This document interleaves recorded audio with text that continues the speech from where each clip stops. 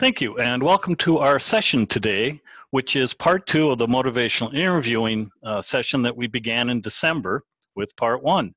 Uh, our presenter this morning is April Lynch with Virginia Commonwealth University. Uh, some of you may be aware, we pre-record these just to be on the safe side. And in this case, unfortunately, Miss Lynch, illness is going to prevent her from being part of our live Q&A, although Dr. Wagner uh, who was our presenter in December, has graciously uh, agreed to fill in. So he will be managing the question and answering after the session is done. Uh, the recording is an hour, and when that is done, I will turn it over to Heidi Decker-Maurer, who you see on your screen, and she and Dr. Wagner will uh, answer your questions. As to questions, uh, please ask questions while the during the recording, during the presentation uh, and you can enter those in the Q&A box. Uh, if you have technical questions, please put those in the chat box. But if you happen to put a question in chat and technical and Q&A, not a problem. We're monitoring both of those boxes. Um, the uh, after, again, uh, uh, Heidi will facilitate the Q&A session. Dr. Wagner can say a few words about himself. Then um, a reminder that we record all of these sessions. Um, uh, both the uh, presentation as well as the question and answer. And we post those on the Project E3 website in the community of practice. Uh, it takes us a couple weeks. We need to confirm that the closed captioning is synchronized, uh, not just with the recording, but with the Q&A session. Uh, at about five minutes before the end of the session, or when questions seem to be done, uh, we will, I will turn it, I will come back on, I will turn it over to Jennifer Gunla Klot, which will give you a brief explanation about how you can get CRC credits for this particular session. So without that, we will go ahead now and get started with the session. Uh, please, again, if you have questions while you're watching the presentation, please put them in the Q&A. Um, Ms. Decker-Maurer and Dr. Wagner will probably be able to answer a few questions uh, during the presentation as well as during the live Q&A afterwards. So thanks again for participating and we uh, look forward to you joining us in the future as well.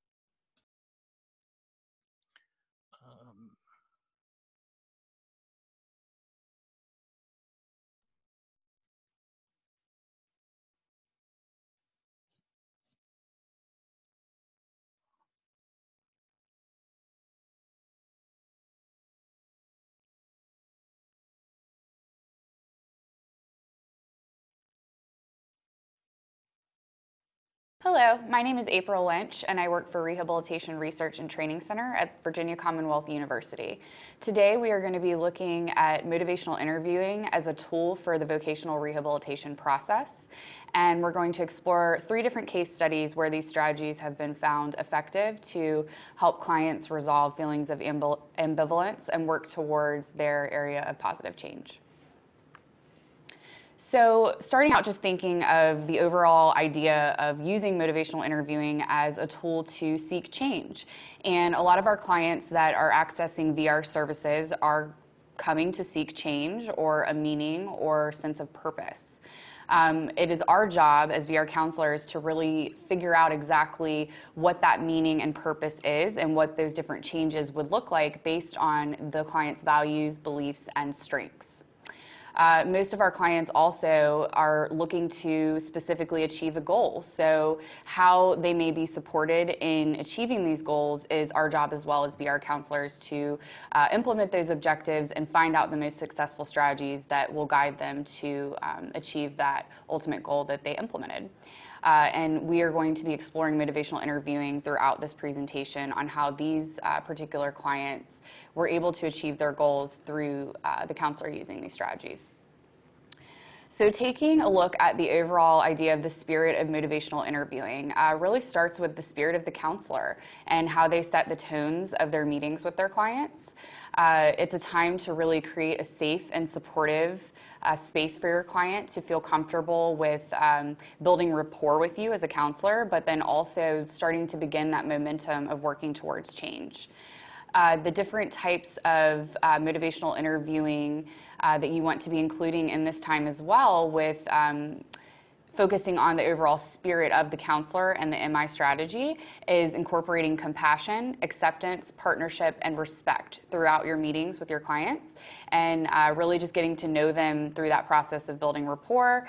Um, but one thing that is really important to focus on during this time is to be aware of what we call the righting reflex. And this is often when a counselor feels the need to uh, fix everything and, and really just problem solve for their clients. And uh, we say that in MI that counselors should not persuade, advise without permission, or attempt to change their client by fixing their problems.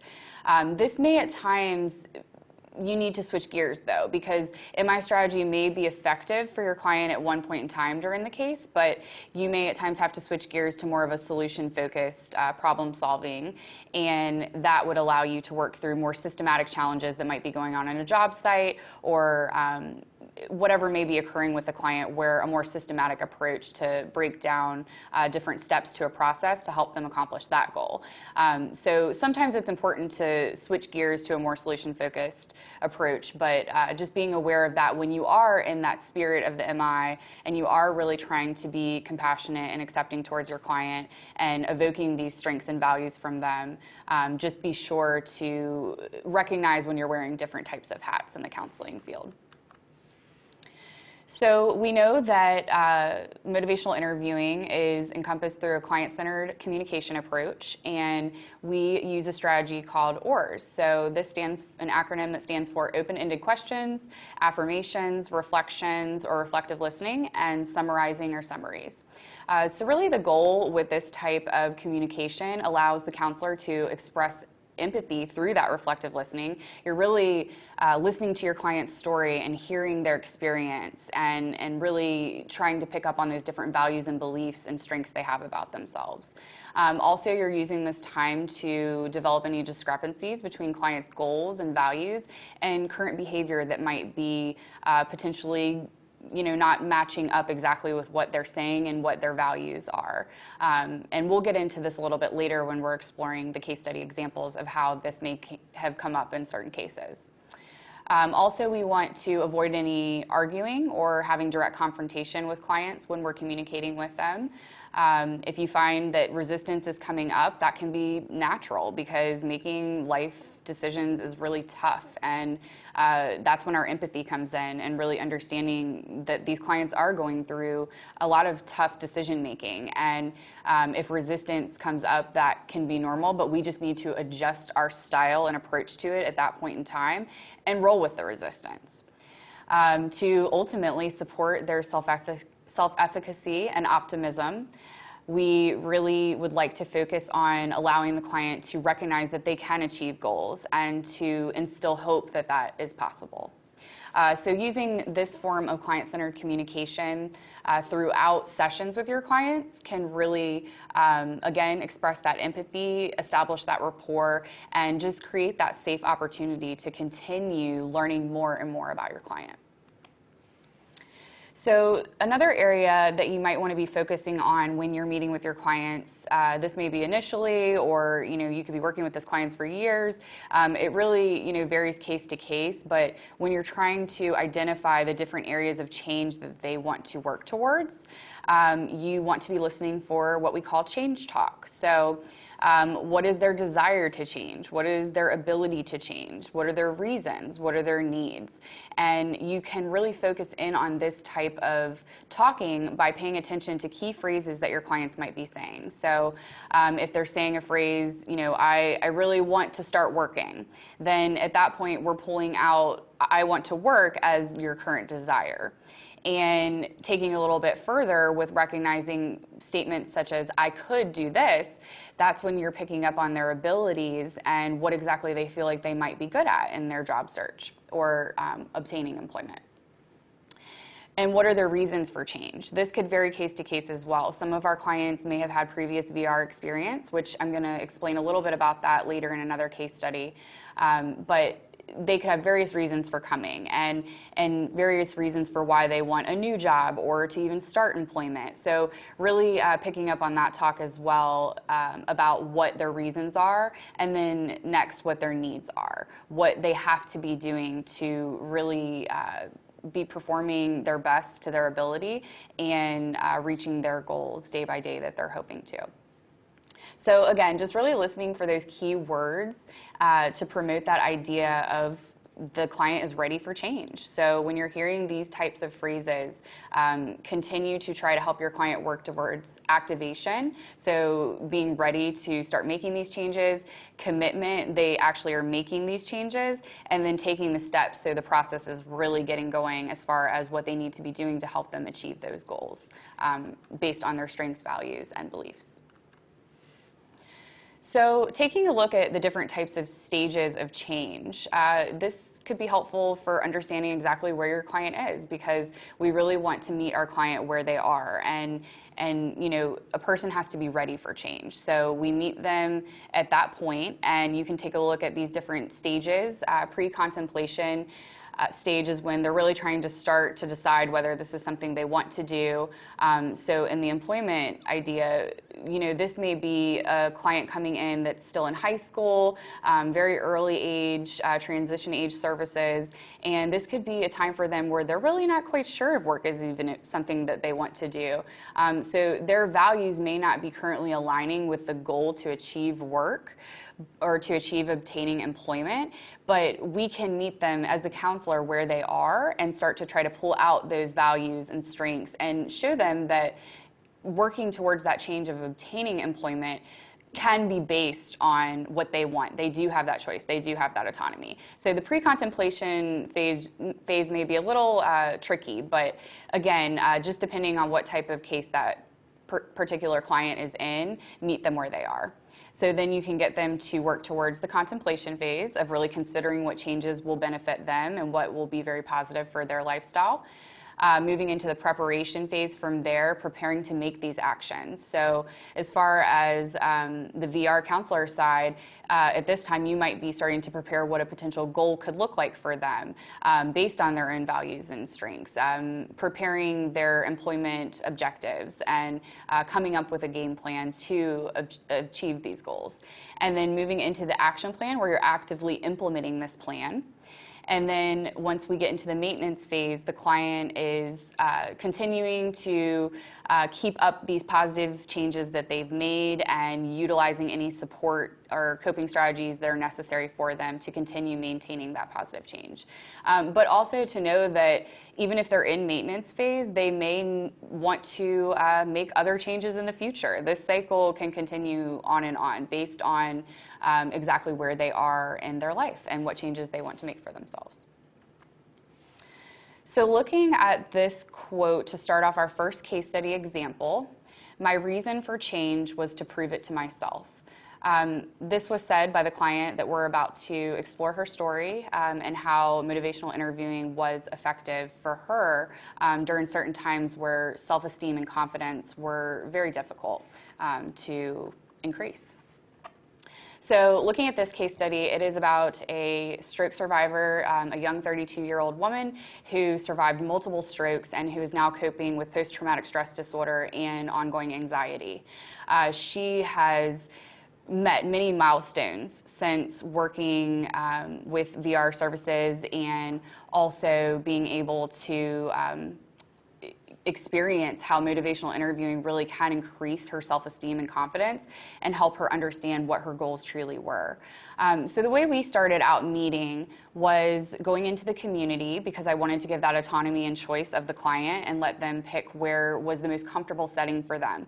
Again, going back to that, you know, first idea of creating a safe and supportive environment. Sometimes that's based on allowing the client to have choice of where they feel the most comfortable when you're meeting with them.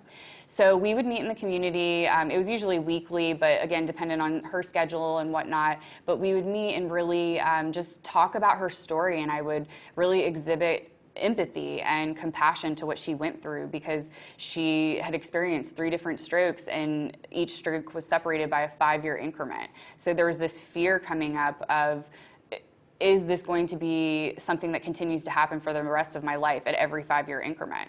So, of course, coming in and, and searching for a job was something that was a little scary because her life had such a major setback. Um, she was finishing up her last semester of her bachelor's degree when the first stroke occurred. And at this time, the doctors had told her she was just having stress headaches. And this caused her to continue to work through what she needed to do at school, but then later was told by another doctor she was having strokes. And it looked like she had fireworks going off in her brain. So all that she knew before in her areas of employment and her strengths and values almost all just kind of went away because this major setback that occurred in her life made her feel as if she did not have confidence or self-esteem to go forward with making any positive changes in her life. So her mom helped guide her to get into the VR services. And from there, we continued to just work closely together and uh, focus on exactly what she was hoping to get out of the experience. When we first started talking about her employment goal, she was hoping to just go back into a restaurant, uh, work as a hostess, um, do a secretary position in an office, answering phones. And these were all positions that she had done in her past job history before she had had those strokes. So what I was hearing when I was working with her was that she was going to work in a restaurant or she was going to work in an office setting because that just felt like the easy route and that's something that she knew. And this fear kept coming up about how she was unsure of if she could move forward and succeed in any other area because she wasn't even able to finish her college degree. So a lot of our conversations were based around you did not have control over what happened to you, but you have control of what's happening to you now. And let's decide on what are some appropriate goals for you based on what you truly want for yourself. So we continued to meet, and um, I would evoke as much change talk as I could as we were having our conversations. And I continued to hear her use change talk in the sense of a desire, and that she desired to work with individuals with disabilities who had maybe gone through a similar experience as her, or maybe even children with disabilities that are nonverbal and may have difficulty expressing what's going on with them. Because when she had her stroke, she lost her vision and her ability to speak. So going through that experience herself and me allowing to point out to her that she felt confident in how she survived her experience. And this was kind of that breaking moment of where she, that breaking through, where she noticed that this is something she truly desired and valued, and based on her experience, she could turn that into a positive to then work towards achieving her goals of obtaining meaningful employment. So, when talking with this client, a lot of the ambivalence that would come up was around the approach avoid conflict um, idea of I want to do this, but I'm also a little avoidant of doing it because I'm scared, because making these decisions can be very difficult. And of course, we know that that fear was still manifesting from the anxiety and the PTSD. So, some of the things that I would hear often in our conversations were I want to find a career, but I'm afraid of starting over from what I already know or I'm afraid of what people might think of me, and I'm not going to be accepted for now an individual that has a disability. Um, I'm afraid I'm going to be judged for having to process different than I used to. This was a common thing that would come up. She uh, processes different now that she is a survivor of three strokes and also with anxiety that comes up. Um, at times, it takes her a little bit longer to think through how she's feeling and to process exactly her reaction to certain um, things that are coming up in her environment. And this was a common um, area where we had to continue to work through uh, recognizing that although it may take her longer to process at times, she would also be potentially working with individuals that may have this same barrier. And how can she use her own strengths to help them work through those barriers as well? And then another common thing was just saying that she was really afraid of the stressful changes that could occur with looking for employment or obtaining employment that might end up being a stressful environment.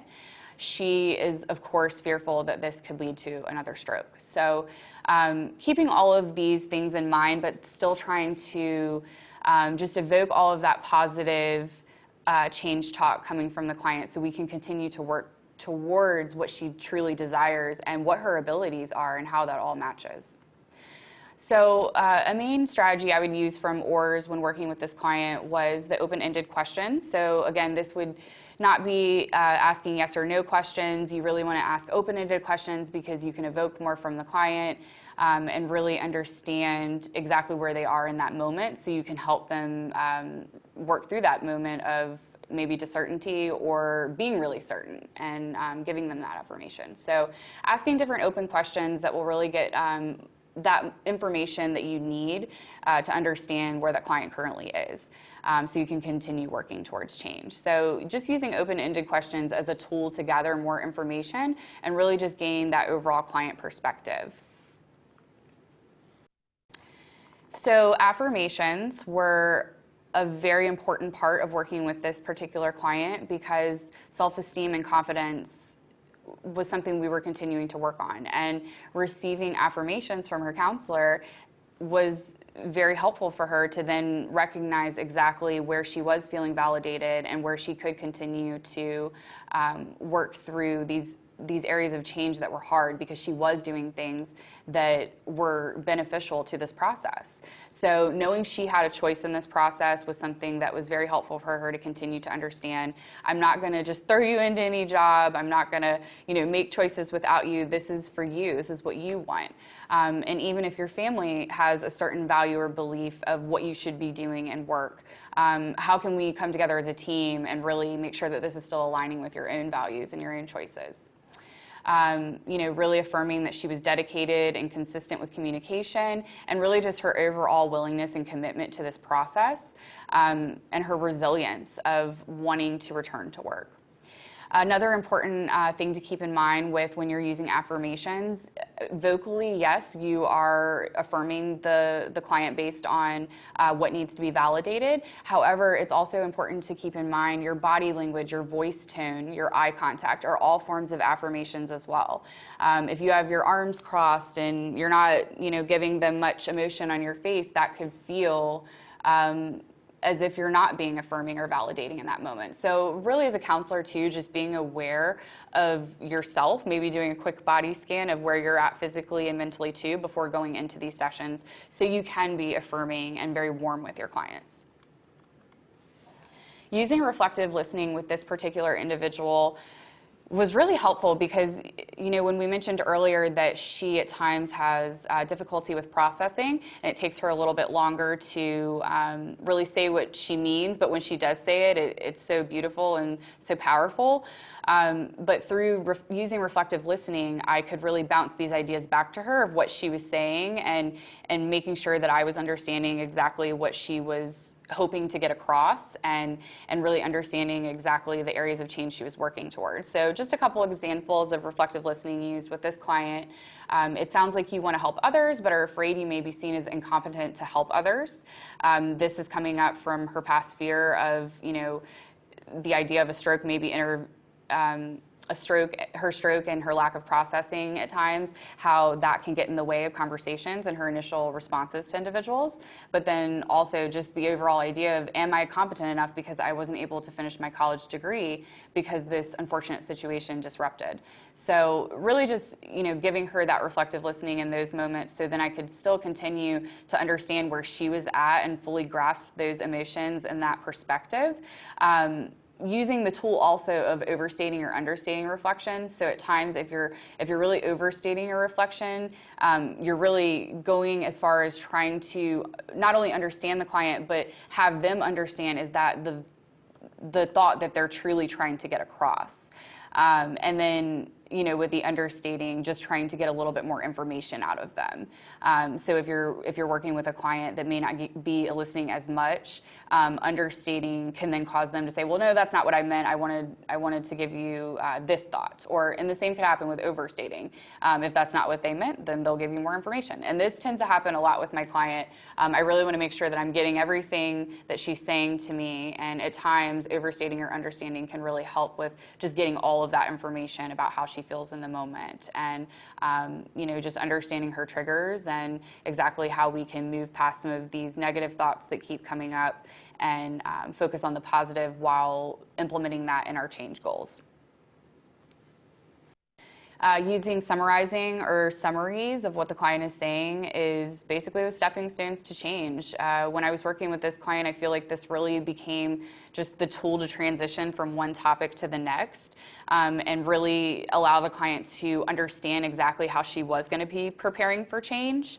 Um, you know, so here's what I've heard so far. Tell me if I miss anything. You want to try something new, but are afraid of changing from your comfort zone and failing. So once we were able to recognize, oh yes, you know, I am kind of still staying in this comfort zone of these types of jobs because it's what what I know, but I've survived a lot. So let's keep going and see what positive changes I can keep working through.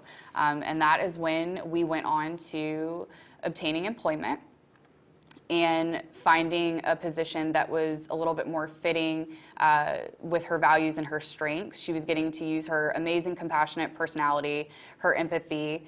Um, by working with children in a school system in a special education department. And her experience was allowing her to put herself in a position to then maybe even evoke the own feelings of the students she was working with and, and what experience they were going through at that time. Um, so once obtaining employment and then feeling secure and stable and independent and autonomous in the whole process, um, we then look at the maintenance the maintenance stage, like we had talked about earlier in the stages of change. Um, and this client has been successfully employed in her job um, for about two years now, and she is in the maintenance stage of change, which means she continues to utilize what skills have really helped her find those positive changes. Um, she finds that uh, her spiritual side is very important to her, so making sure um, she's attending church once a week, um, going to a prayer group with her colleagues and peers. Um, which also allows that environment of work to, to continue to be supportive and fostering of her faith and um, allow her to kind of stay away from those negative thoughts of something negative could happen and this could lead me into another uh, stroke. Uh, so having those coping strategies in place, but then also continuing to have monthly uh, motivational interviewing based meetings with me as the counselor and really just checking in and trying to decide whether there are any other areas of change that uh, the client would like to be working through. Um, and she also is attending individual therapy weekly, utilizing grounding and mindfulness techniques to help with her anxiety and her emotional regulation. Um, and again, just con- continuing to adjust to those life changes. Um, since using MI strategies with this client, um, she has obtained successful employment and kept it. Uh, began the process of um, thinking of going back to school to finish that last semester and then start her master's degree. She has become married and she now owns a house. So lots of milestones have been met by this individual because she is resilient and she was able to create those positive changes.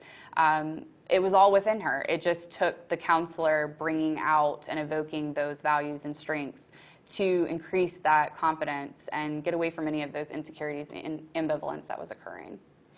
Um, so next up, I am going to invite out Dr. Christopher Wagner, and he's going to be joining me to do a little bit of dialogue on this particular case. Thanks for joining me today, Chris, sure. to talk about my different cases and the MI strategies I've been using. Sure. And uh, for those of you who don't know, my, I'm Chris Wagner. I am a clinical psychologist and certified rehabilitation counselor. Um, had done an earlier uh, webinar on MI and VR that's kind of set up for April to do the follow up focusing on specific cases. Um, I'm curious what, as you were working with her, what did you identify as any potential risks of the work? It sounds like one was you were concerned she would kind of undersell herself, get into a job that would maybe be easy early on, but wouldn't really satisfy her. Um, yeah, early on, I knew it was a satisfaction piece. I felt like if we just placed her in an office setting, or I mean, potentially those jobs could have been great for her because of the skill set, right. but would it be fulfilling? And that's really what we were looking for. We wanted to find something that, that was fulfilling because her college experience was disrupted, where mm-hmm. she was going to go on to make all of these changes to find that fulfillment in herself. So I wanted to get her back to that point. Right. Um, once we were in employment, the biggest risk was the triggers that might come up with working with Okay. individuals um, that may have seizures or stroke or seizures themselves because they're adolescents. Um, and when she was triggered in those moments, it would kind of bring her back to that point of when she did have the stroke herself. Yeah. Um, so those were risks that we wanted to really work with her employer on, as far as recognizing if a situation like this occurs, ha- what's a safety plan Okay. to have in place, and that I think brought a lot more comfort to her too. Okay. So um, I, I'm curious along the way, we didn't really specifically talk about the righting reflex, but this notion of the righting reflex in MI, which is, um, you know, just a concern that we have a we have a very compassionate sense as counselors often to want to help people, to want to take things that are wrong and set them right, to um, want to take things that are broken and fix them, or if somebody's hurting, to, to support them. Um, and the challenge is, as you know, sometimes that can override um, strategies for what's the best long-term outcome. So I guess I'm just wondering, from your perspective, did you were there righting reflexes you had to suppress with her? Yes. Yeah. Oh yeah, I think righting reflex is something that comes up for me quite a bit um, because you know being in vocation, uh, you really have to kind of wear different hats at times, and at times you do have to be solving problems and working through a systematic approach with the client, but when it comes to the righting reflex and me wanting to fix all these problems, I have to recognize in that moment, okay, what can I get from the client that I don't have to be giving them this? I, I can mm-hmm. see it's within them. I just have to evoke it from them. Right. And then that's really what's going to guide us to success. So those times when maybe she, with when her confidence was low, you might be pulled to reassure her or kind of mm-hmm. either if you don't necessarily buy into the lowered expectations and you you were sounds like well aware of that at the beginning to help her through that experience it might be awkward and uncomfortable mm-hmm. uh, for a little bit uh, but then kind of get to the other side and so she could really flourish Yeah, exactly. I I think I was a little bit of a moral encouragement weekly for Yeah. her, whether it was text, phone call, email, um, whatever was working best for her that week with scheduling and her work schedule. But um, yeah, I definitely think that I continue to be that instrument to just provide encouragement and and help help be her sounding board really when she needs it to figure out what is the next step of change. Yeah, it was really fantastic um, story to listen to. Uh, kind of getting her back on her pathway and how well she's doing. So I look forward to hearing the next couple. Yeah, great. Thank you so much. Okay. So now we're going to take a look at this next case study, and we'll start it out with a quote from the client. I love my job. I love working with all of my coworkers because we all are creative. They just get me. This is what I hear very often from this particular individual when visiting him at his job. So, this case study is about a young man with autism who ultimately receives his dream job. Um, when I first met him, um, he was really describing a lot about himself, but um, you could tell he was a little bit more reserved, introverted. Um, it was a little bit more difficult to try to bring out these different um, responses about what his strengths were, what his values were, um, why he really wanted to go back to work. Um, but with the help of his support team, I was able to gather a lot of great information about the fact that he's an artist, um, he's a painter, a photographer, he's in a local performing arts group. Um, so ultimately, he really thrives in that creative and accepting environment. Um, so something I found out, the reason why it was a little difficult as to why I could pull out those different values and strengths about this individual from him personally, um, was because he had a previous VR experience that wasn't uh, a positive job match. Um, we could still look at this as he received this job to get experience. It was a first job, and um, he learned potential barriers that might get into the way of his success. Um, so, again, I don't want to call it a bad experience because it was a growth opportunity. Um, and it allowed us to continue on with figuring out exactly what that positive change was that he was seeking to gain that um, meaningful employment. So, once learning a little bit more about him um, and his artistic abilities, I hit the ground running as far as trying to find a position in that area and continuing to work with him to build that rapport and help him feel a little bit more comfortable. Um, definitely what I saw coming up a lot with his ambivalence was the avoid avoid conflict approach. So um, what was happening is after he had that positive job match and then he uh, or the, the job match that was not positive. Um, and he left that position. He was um, left feeling a bit discouraged because it unfortunately ended in termination. It didn't match his strengths. Um, it just wasn't a very fulfilling experience. So it left him feeling a little um, resistant to the VR process and what that could potentially look like for him. Um, but what he was continuing to do was volunteer at the SPCA, um, a local organization um, that works with animals, and he was working there since 2014 in a volunteer position that he knew very well. He knew everyone in the environment very well, and you know he gets to be around animals all day, so it was awesome. Um, so why leave this comfortable volunteer position if you know, money really wasn't the object. That wasn't really the goal. Um, his goal was to find a comfortable environment that didn't bring him stress.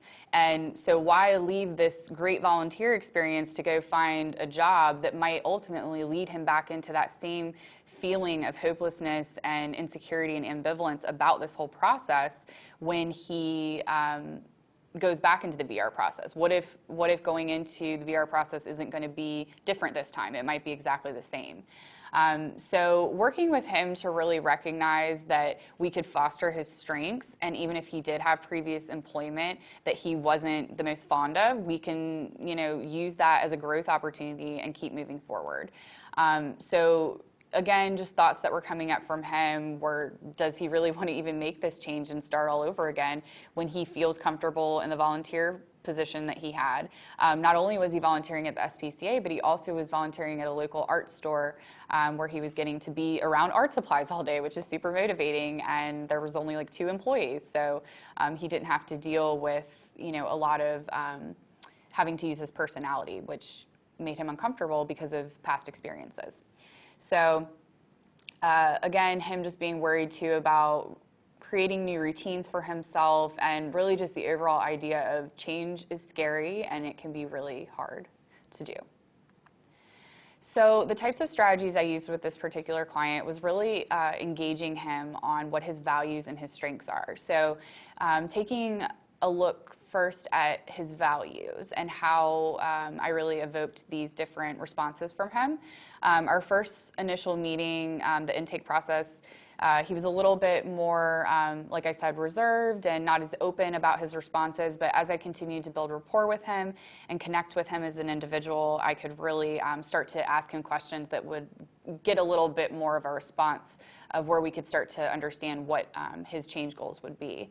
So, what was most important to him was his artistic skill set. So, being a painter and doing his photography, he recognized that these skills um, really brought a lot of joy to him, but also um, he didn't feel anxious when he's doing these skills. So, um, another value of his was the type of environment and being in something that is comfortable, but then he described it as chaotic free. Um, so not a lot of noise and, you know, just again, uh, being a fostering supportive environment. And then what exactly would be most fulfilling for him, again, was using his creativity, his artistic skill set, and being in a creative environment. So then pairing that in with his different strengths and really getting him to uh, start to express what he really is good at. And he has great time management skills, being creative, attention to detail, organization, and dedication to any project he does. Because um, he does do some freelance um, artwork and things like that. So also um, getting him to recognize once he was able to say these strengths of his, how he was going to be able to use these types of strengths. And the goal with this would be to find employment that then would promote him having more happiness and positive energy. Um, really, I think he just didn't want to be put into another stressful situation and how we could continue to focus on making this a positive experience. Um, so, engaging and focusing him to recognize what his strengths were, his values, so we could continue to move through that process to plan. Again, evoking uh, during the engaging and focusing process too, so we can get as much information as possible. If you ask this client yes or no questions, it's going to be yes or no, and that's it. He's not going to, you know, um, really elaborate much on that. So it's your job as the counselor to really try and get more information out of them by using those open-ended questions, but also in the evoking approach that you know it's going to evoke exactly on the topic that you're working in at that time. So, what do you want for yourself? That would evoke exactly what he wants himself in that job, or different characteristics like the work culture, the type of people he wants to be around, what makes him happy. You know, he would tell me what makes him happy is getting to be unique and weird and, and dress in all different types of colors. So, that was another thing that um, was a little bit different than looking for a cookie cutter position um, what brings you joy and what makes you feel good. So, um, some other strategies that I would use during the evoking stage with this client was having him do a body scan, recognize where he was noticing any um, physical reactions when he was feeling anxious. If we were going out in the community to visit employment settings, go on interviews, whatever the situation might be, um, using this to help him recognize that he was in control still and he was safe. Um, and I was there as a support to help him recognize when he did feel uncomfortable and we could take a break.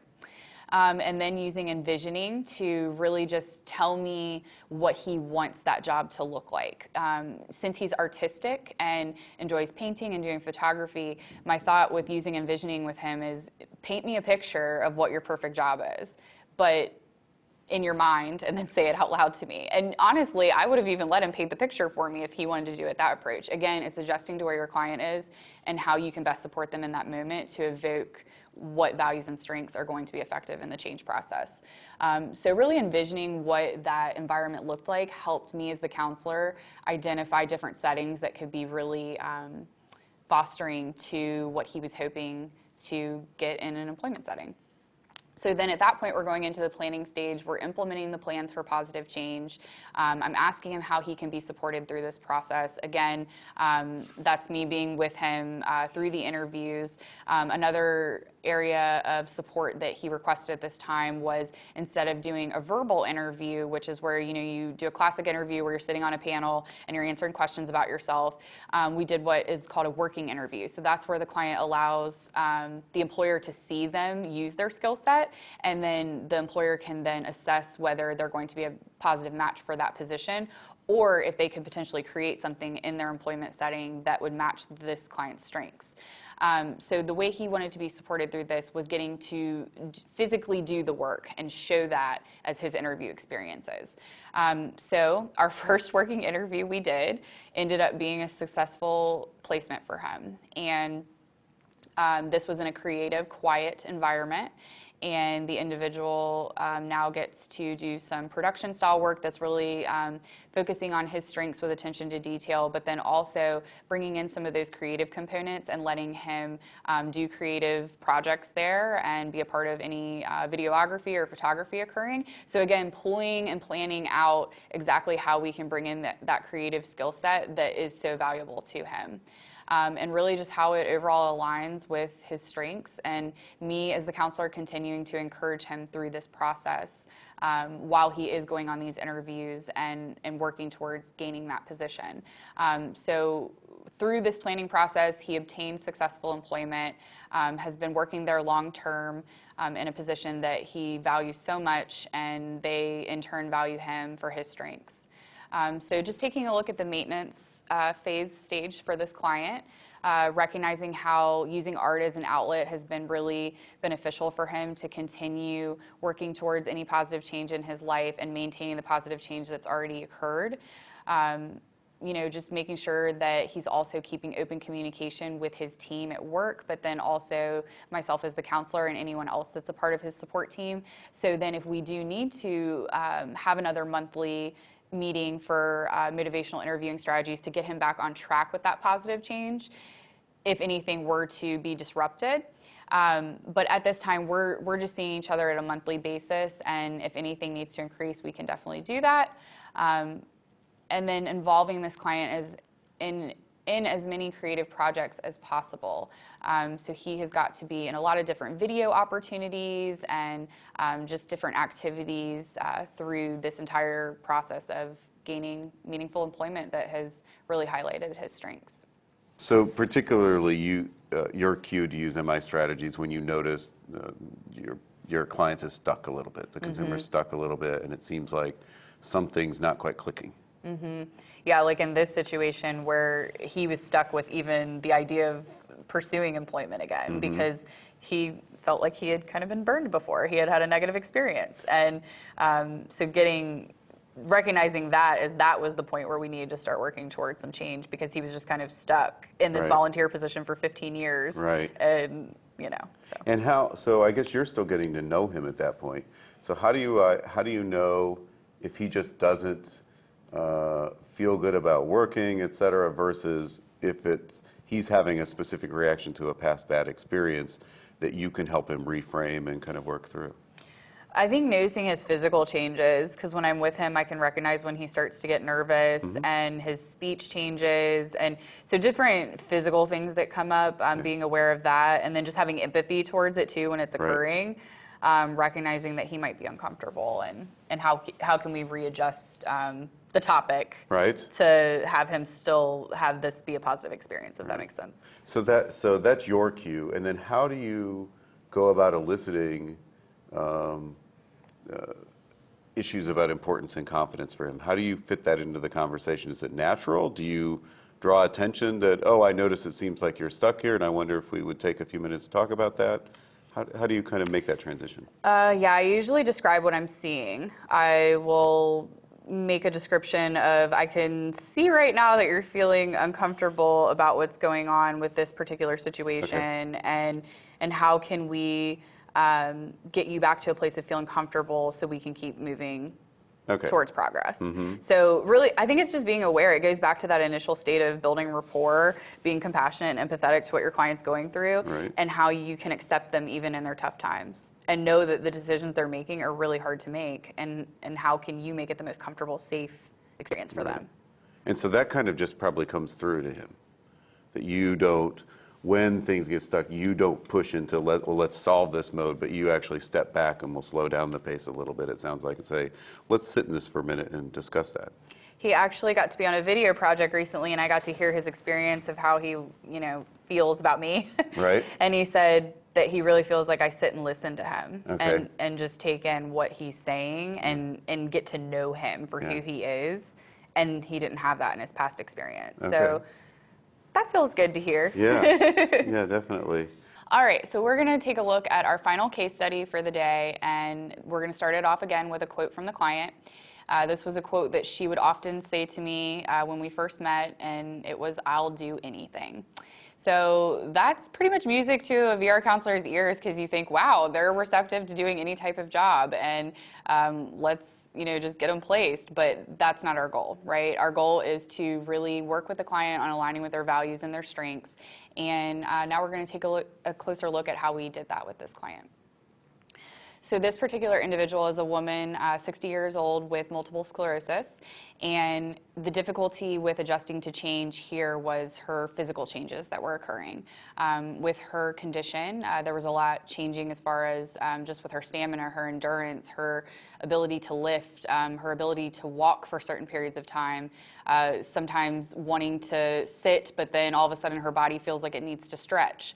Um, so very tricky with uh, recognizing all of these physical changes that were continuing to occur um, over time, um, and how we could continue to foster the strengths of her mind while helping her recognize these physical changes that were occurring and that we could still work through those barriers and uh, help her find a goal that would be achievable based on her strengths. Um, so really throughout this case, working with this client has been um, just helping her recognize those discrepancy between what's happening physically with her and what she's saying out loud that she wants to do. Um, a particular example of that would be uh, when we first started working together, she had a history of working in restaurants. And she thought, okay, I can still do restaurant experience because that's what I have on my resume, that's what I've done. But it had been years since she had worked in that type of um, employment setting. And with the idea of working in a restaurant, that brings safety concerns because floors can be wet. Um, you know, you have to wear slip-resistant shoes in a restaurant setting. There's, it's a chaotic environment. There's a lot going on, um, and this can be the perfect job for some people, and it might still be a perfect job for her in a sense because of her personality, but wasn't matching up with physical limitations that were occurring. Um, so when she would be saying this quote to me over and over, I'll do anything. I'll just, whatever you can get me, April, I'm just ready to work. I'll, I'll work in any restaurant. She would line up um, visits to go to dish pits and restaurants and try out dishwashing um, or, you know, folding silverware, whatever the restaurant needs were for that day. Um, but again, it continued to not match up with what was happening physically to her. And at the end of the day, she was feeling just exhausted and mentally overwhelmed because of how physically exhausted she was. So that value that she had of her personality and how she's such a lively individual and so fun to be around, that was being taken over by the physical exhaustion that was occurring because of her condition she's adjusting to. So using envisioning with this client was really helpful because although she hadn't experienced working in other jobs, she could envision what it could look like for her if she was in a different job outside of a restaurant setting. And again, although that was her experience, we can continue to make new experiences that are based on your strengths. So using different questions, again, the open-ended question style uh, through OARS, but then also um, making sure that you are using some statements in there too, like tell me about your perfect job. Um, so just really trying to get the client to recognize some areas that could be um, motivating to them environment wise task wise the type of work culture the people they're around um, for this particular individual because she has such a fun personality and she's awesome at engaging with people uh, we felt like really fostering her personality and those strengths interpersonally would be our focus. Um, and then looking at a skill that she had learned through her restaurant experience um, of going through receipts and doing a little bit of clerical work in the restaurants. Um, we were able to then take those transferable skills paired with the value of using her personality and you know just how she's such a fun person to be around and pair that with work cultures that had types of tasks that may be clerical and repetitive, like the receipts that she was reviewing in the restaurant setting, but then also allowing her to be around certain office settings that encompassed a work culture of support, uh, fun. You know, her first volunteer position that we started um, to get some job experience on her resume, everyone in that office was just so much fun. They were always joking around with each other, um, just really family oriented. It was a really, really great experience for her, and it showed that that clerical skill set she had that she had learned through the restaurant experience was able to be utilized in this office setting, but she was also the, her favorite experience about this was getting to engage with uh, the different people in the work culture and how they had similar personalities to her and similar interests. And uh, when we're around those with similar interests and values, that ultimately makes it a more motivating experience. So using the envisioning technique really allowed this client to see an experience that could be uh, a good fit for her, but just something that she hadn't um, experienced before. And then another tool that might be useful for VR counselors in this envisioning area is using the question of where do you see yourself in three months or whatever your timeline might be of following up with them. Um, so even though I'm talking with my clients consistently throughout the month, we do our quarterly reviews every three months where you're evaluating goals and you're going through their plan and you're recognizing what needs to change, what is going well. Um, and in this time, that allows them to continue working through the change process. Um, and this question, I think, really evokes a lot of where they might be able to see themselves in that time period. And that gives you some ideas of how to shape their goals around that. Another technique uh, to elicit change talk with this particular client was using scaling rulers. So um, this is just using a scale of 1 to 10 paired with questions, and you know it could be 1 to 5, whatever the, the uh, scale you want to use. But um, with this client, I would say, you know, on a scale of one to 10, uh, you know, how physically exhausted are you today? And, you know, on a scale of one to 10, when we would come into a setting or be going into a setting, I would be scaling, you know, exactly where she was emotionally, um, physically. And then this really helped us to then use that data that we were recording based on how she felt before and after situations, um, how she was able to then assess okay, maybe the physical limitation of that part was a little bit too much for me, but I did really enjoy this, this aspect of working around these people with similar interests. So then that's when we continued to work through and get her those volunteer experience, like the office setting I explained. Um, and she worked in a couple of different office um, settings to continue to get that clerical exposure and uh, make her skill set more well-rounded.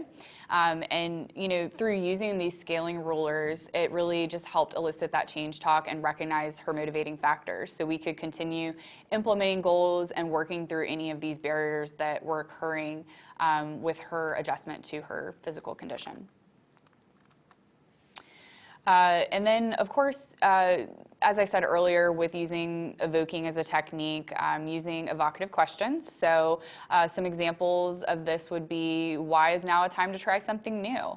Uh, how could you make this happen? Uh, what would be the best way to get started?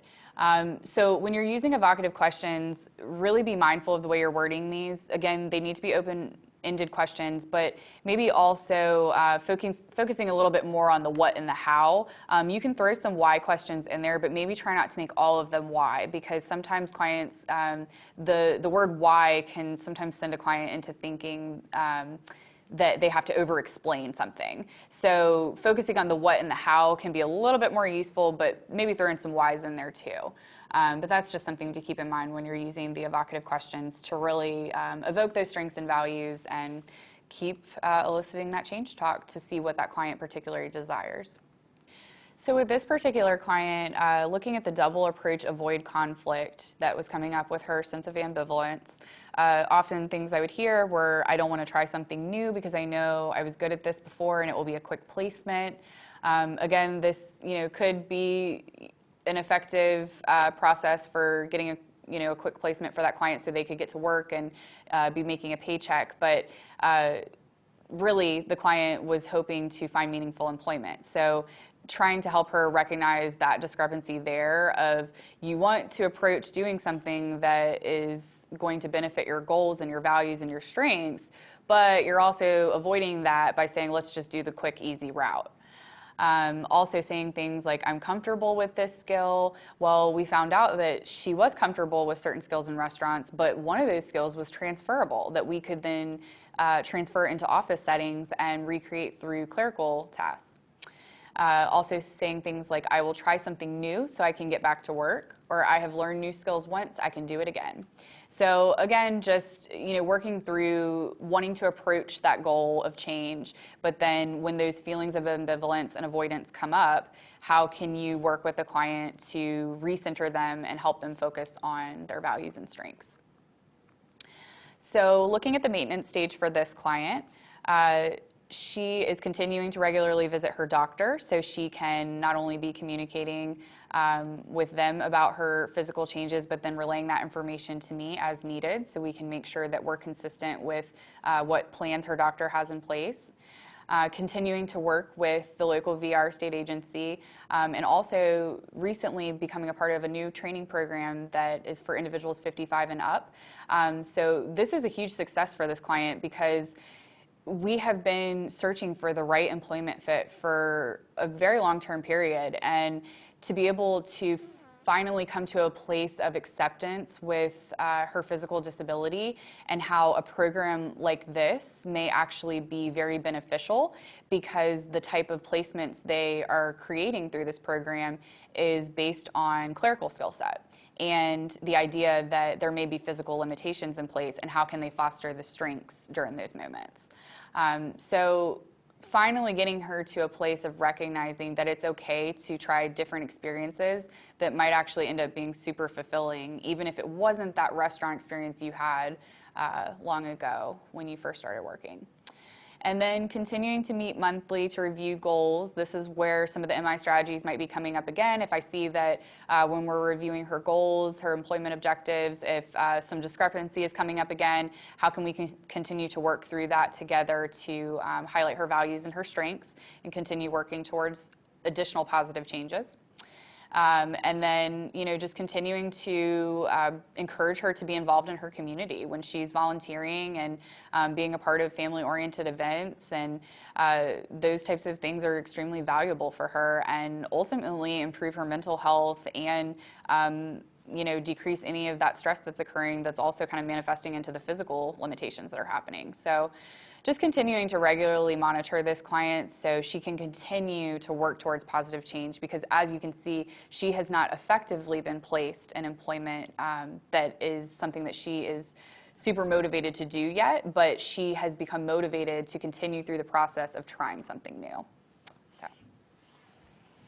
Um, thanks. I was wondering if we could take just a minute or two to, to kind of pull back from these specific cases Sure. and just talk about what it's like for you incorporating MI skills and strategies into VR work. And I guess one thing that particularly stands out for me is um, the need for case closures, the need for getting placements accomplished. Uh, so kind of a high-paced environment, and it seems like kind of a slow-paced approach. How do you bring those together? Yeah, it definitely is interesting because at times you feel like you have the pressure of wanting to get that client successfully working mm-hmm. and close that case and have them on to their, you know, independent follow-along support. However, me as a counselor, I really want to work with the client to identify their values and strengths the mm-hmm. best I can. So just as I went through these different case studies and the different strategies I used, I think it's recognizing what works best with that client at the time. So, um, you know, with my first ca- case study, really having one-on-one sessions with her and doing open-ended questions, affirmations, all that good stuff. But then the other two cases, things were a little bit different, right? So it's it's just recognizing when those strategies can be the most effective to kind of keep the process on the right path it needs to be on.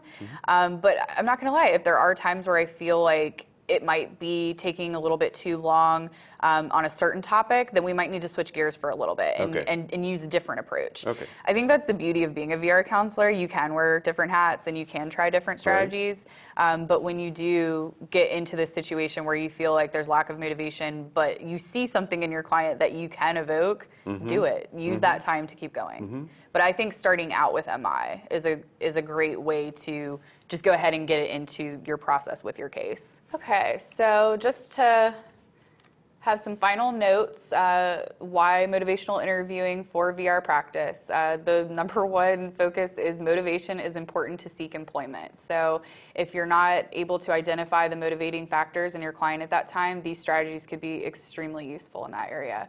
Um, to then move on to promoting positive behavior change.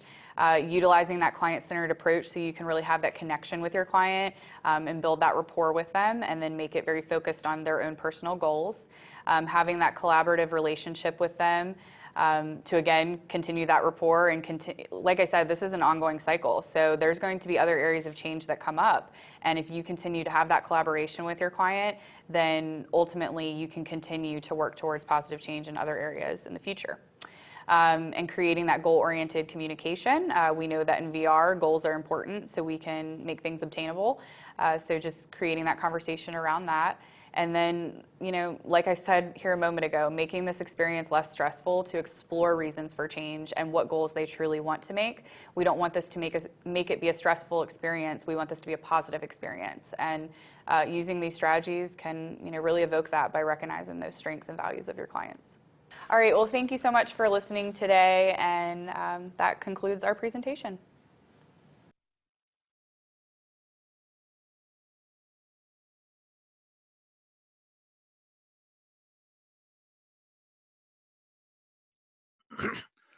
Thank you, April. I will now turn it over to Heidi Decker-Maurer, uh, who with Chris Wagner, and I understand um, April has been uh, able to join us. So we will uh, move to our question and answer sort of discussion phase. So uh, you are up, Heidi. All right. Thanks so much, Terry. And uh, thank you, April, for such a great presentation. There was a lot of super good information in there. I think for folks having um, examples to learn from, especially if, if there are successes, it's encouraging to help them kind of go out. Um, go out of maybe their comfort zone and to be able to try things that that they maybe wouldn't have had they not heard about it working in certain circumstances. So thank you so much um, for that and um, it was really great to have the question and answer session between you and chris. Um, it kind of um, dug a little bit deeper and got a little bit of extra meaning for folks um, when it comes to those strategies. Um, we have a few questions here. Um, and um, I don't know if both of you want to answer or if one or the other wants to answer. Um, when you're ready to answer, I think just having the mic button pushed um, so there's not a line through it, then we'll be able to hear you. Um, the first question has to do with um, time for uh, helping folks out. Everybody's pressed for time these days uh, with their work, and we all usually have much bigger workload than we have time for. In this particular question, Katie asks if the client's case is closed because they're in long term employment, how do you schedule them and continue to serve your new clients? Is there enough time in the working day to do that? So I think that's in regards to what April was saying about, um, you know, just checking in in with folks periodically to find out if things are still working out for them. Um, any thoughts about that? Yeah, April, why don't you take that? Yeah, that's a great question. Um, so basically, our clients that are in long term employment supports at that time, we call that follow along category. And that allows us to still continue to check in on our clients at least twice a month as needed. Um, and honestly, sometimes the clients may not need support that month. They may shoot me just a text message and say, you know, I'm feeling really great about things this month, and uh, let's, you know, schedule to have a in-person meeting in the next month. So again, it's really case to case. Um, but yeah, it, it can be hard, especially if you have a large caseload.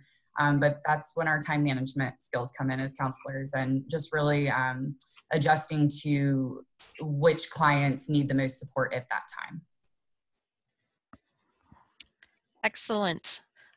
Chris, did you have anything you wanted to add to that? Not to that particular one, no.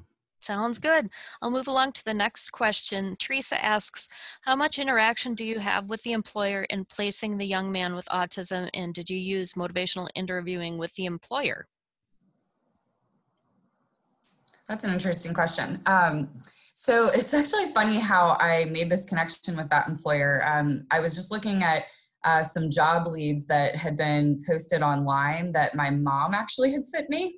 And she thought that it sounded like a really cool employer. You know, she knows what I do, and, um, you know, we stick together in this field. Um, so she had sent me that, and I just started thinking, wow, this sounds like a really cool environment. I just want to go check it out. So I, my initial meeting was with the human resources team, and this is a very small company. Um, their staff is probably under 10 people. Um, so I went and met with the HR team and they just, you know, loved what our mission was with helping individuals with disabilities um, obtain meaningful employment. And then from there, I met with the owner and the rest of the uh, management team. And I don't think I had to use motivational interviewing with them because their mission was to help those in need. Um, and they actually are a company that focused on hiring refugees and we started to recognize that our missions were kind of similar in a sense. Um, you know, this individual with autism had difficulty with expressing himself, uh, like some of their employees that had language barriers. So we just really saw eye to eye, and I mean, honestly, it just ended up being a perfect match. And uh, we brought my client in to do a working interview and do those hands-on skills and really show them what he could do and from there they just they knew he was one of their uh, he was going to be an asset to their team so. Excellent. Chris did you have any anything to add to that one? No I actually was uh, noticing the other comments bubbling up mm-hmm. here yeah. yeah definitely. So um, in our Q&A panel, we have a question about the duration of time that April spent with the client from start to finish. Which particular client? The one that I was just discussing? I believe so. I think so. Let's see. We met, it was a pretty quick process, I would say. Um, I'm, I could not give you the exact, you know, timeline right now because I don't have his file in front of me. Um, he's been working for two years now. Um, but we had met in the springtime, I know when we did his intake, and then we took that that spring to be working through some working interview opportunities, going out and meeting um, employers in the community, and then he was placed by October. So Oh, wow. pretty pretty quick process, but Yeah. um, again, it was just really building that rapport with him, understanding what he wanted for himself, and and helping him seek that change, and and we we made it happen. So Fantastic. That sounds April- excellent. April, what about the timeline with the other two cases that you mentioned? Um, so the other two cases were a bit more long term. And I think that was because we are really trying to pull out exactly what they did value, what their goals were. Um, although this this other client with autism, you know, he was a bit resistant to the process at first. Um, I do think I had a little bit more to work with as far as his strengths because he was still actively painting and doing photography and doing all this creative work. Um, but with the other two clients, it was really um, just helping them, you know, see what they wanted for themselves and and really recognizing what their goals were going to be. Um, so those durations were a bit longer. Um, again, the sec- the first client that I had discussed, uh, she's been working for over a year now. Um, but I would say that process was up to a year in job development, but we were also using what we call community support services because I wanted to make sure I could spend plenty of time with her one on one in the community or in her home setting to really be exploring her values and strengths. That makes a lot of sense. Uh, It sounds like if you have a little bit of information to go on in the first place, that can make things go more quickly, but having to, you know, uh, get that information from people about what they want and their values and beliefs, um, that can, it sounds like it can add a little bit of time to the process. Um, Yes, and the third case study I would say probably was the most lengthy because she was trying to adjust to her physical change and um, Right. and that's still an ongoing process, but we have some good things in the works. So Excellent. We have a question from Sean. Ideas on how to balance ongoing resistance with DVR's need for progress. Any suggestions on how to address this in a safe, non-confrontational way? Uh, we did some training on nonviolent communication, which seems to be a good method. Mhm. So that that I'm sure that's a, an issue that people, uh, folks, come up with um, uh, on on a regular basis, having to figure out how to help the person find their own motivation. Um, so, what are your thoughts on on, on that with the the the client resistance uh, against DVR's wish for things to go quickly? Sure. And so, April, I'll share a little bit about this, and then maybe you could add in about the specific uh, people that you worked with. okay, great.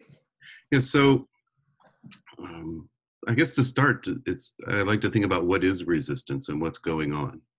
Um, usually, I, I think it's comes from a, a, a sense of lack of safety for the person. There's something about the environment, um, something about the situation, something about the way they're seeing themselves that um, makes them uncomfortable, nervous, a little unsure. And as you know, we're all wired uh, to have fight, flight, or freeze reactions when when uh, we feel overwhelmed by things. And I think a lot of what I think of resistance is just that natural reaction to feeling unsafe, insecure. Um, and so then either fighting, actively getting resistant, freezing, you know, not showing up, not necessarily following through with things, um, or fleeing. We certainly have issues with with dropout in our work. Um, and so what I want to do is really try to see from the inside out what's it like for the person get in their bubble with them make sure they feel me as a partner um, with them that i'm not standing across trying to push something uh, on them. The this is a challenge across all kinds of settings um, but it's not the client's it's not the consumer's responsibility to meet our uh, demands that we get placed on us by work environments and so it's it's one that we often are having to manage in ourselves to not